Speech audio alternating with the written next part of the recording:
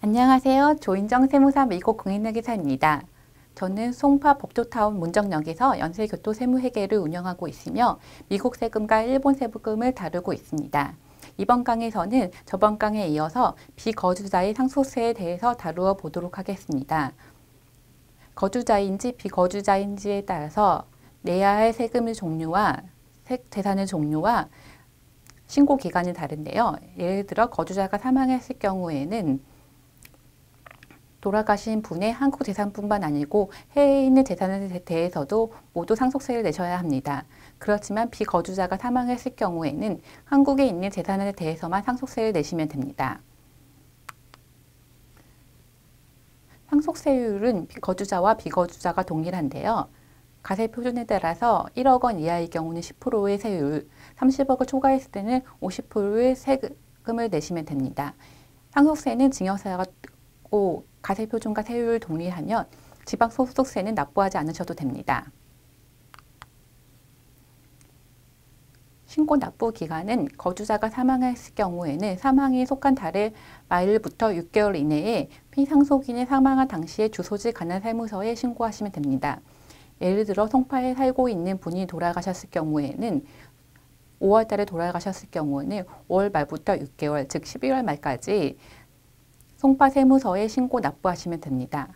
그렇지만 비거주자가 사망했을 경우에는 거주자가 사망했을 경우보다 3개월이 신고 납부 기간이 연장되는데요.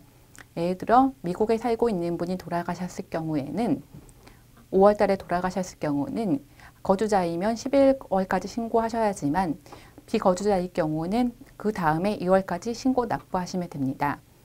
이때 비거주자와 상속의 전원이 모두 주소가 한국에 없을 경우에는 어느 세무서에 신고할지가 문제가 되는데요. 이럴 경우는 상속재산 중에서 가장 금액이 큰 재산의 소재지가 담당 세무서가 됩니다. 예를 들어 20억짜리 송파 아파트와 10억 원짜리 도봉 아파트를 상속받았을 경우에는 가장 금액이 큰 20억짜리 아파트의 소재지, 즉 송파 세무서가 관할 소재지가 됩니다.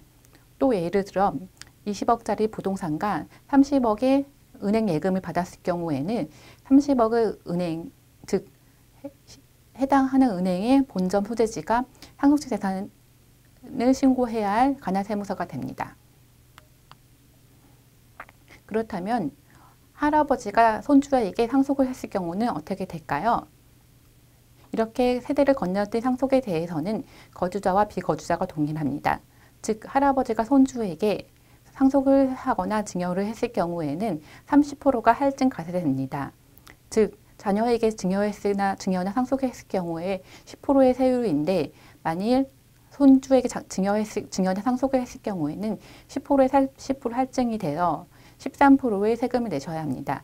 이때 미, 미성년자 경우나 재산가액이 20억을 초과할 경우에는 40% 할증 가세를 하시니 손, 할아버지가 손주에게 증여나 상속을 했을 경우에는 할증 가세에 대해서 조심하셔야 합니다.